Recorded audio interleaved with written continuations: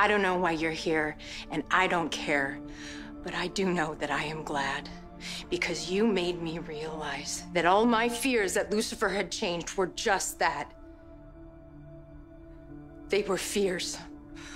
What Lucifer and I have is special. It's real, and it doesn't matter how many lies you tell me. I will never lose faith in me and him. No more lies, huh? Well, how about a truth then? You are a gift from God, Chloe Decker.